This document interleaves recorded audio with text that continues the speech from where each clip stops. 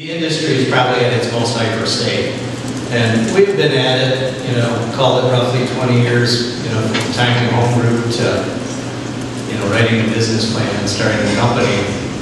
And, um, you know, we're all in different situations as far as our ownership goes. You know, for us, uh, we had to raise a lot of capital from shareholders. You know, no one individual owns the majority of this company. So I was kind of looking at it and thinking to myself how quickly the last 20 years went. I wonder, you know, we, we had founders who always prided ourselves on our product, and that's, that, that is mission one. We pay attention to our product, we come in every day and try and make our beer better, and that's it. And fundamentally, profits and things like that are secondary. I was wondering to myself, you know, what, where is it 20 years from now, and how do we make sure that a brand carries on, you know, beyond our days? That's why we started to look and think about succession planning. Not that we're getting out or anything, but we knew that if right now there was an opportunity, and, and believe me, in this crowded beer space throughout the world, there's very limited people or breweries out there that would be a good partner.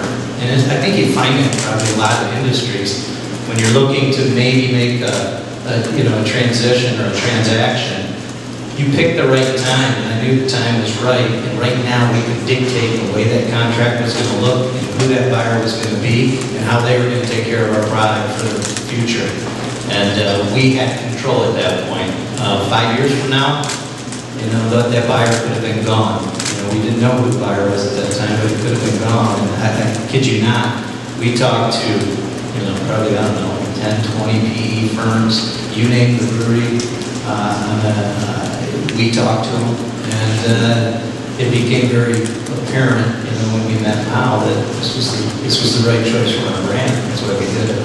Yeah, I don't know if most, of you know, we're really talking inside baseball. I don't know. It's big news here in Grand Rapids, but if you're not following the beer world, you don't follow necessarily how VC and private equity are really circling our industry right now. Different funds are spinning up, and I was talking to Mike. Uh, we're kind of supposed to be having a conversation, but you're all here, so I'm, I'm trying to not pretend that you're not here. But you know, we were talking earlier about how uh, we were at our national conference and the amount of uh, private equity firms uh, and middlemen in banking are just around wanting to take meetings with you. And uh, you know, when we first went, and I think my first uh, uh, CBC Craft Brewers Conference, uh, as it's called, that the Brewers Association puts on was uh, in Cleveland, and that was in the, uh, I want to say it was um, 98, 99, and it was the most fraternal group of, it was just a bunch of brewers hanging out in dark bars, and now it's turned into, you know, taking meetings with distributors, and you're, we're lucky we even see each other. I, I think I saw Dave for a minute, um, but you're flying all over, so. Um, and it's interesting too that You thought about it? um, I have. I'm in a little bit different spot um, where I I own the a super majority of our company, so I'm not um, maybe under the same pressures or have the same concerns as I can. Um, I guess uh, control my own destiny a little bit more. Not to say that you couldn't, but uh, looking for uh, maybe taking some chips off the table and such has entered my mind. But I'm kind of uh, I can kind of chart my own course and uh, I don't, uh, for good or bad, I don't have to answer to anybody else, Yeah. and except for my own teammates. So um, I have thought about it. I've, taken a couple of meetings, uh, but frankly, private equity all say the same thing.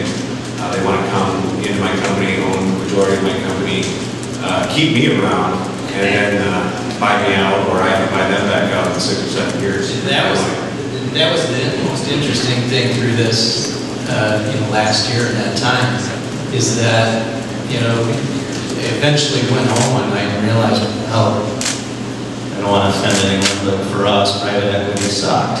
Because the interest um, in your product is not there. I mean, they're a machine that makes money, and that's fine. But we're a machine that makes beer, and we truly care about it. And the reason we were there was to ensure that, you know, when someday we retire and what happens, and, you know, it became very evident that we needed a strategic partner. We needed to talk to brewers. And we didn't find that domestic.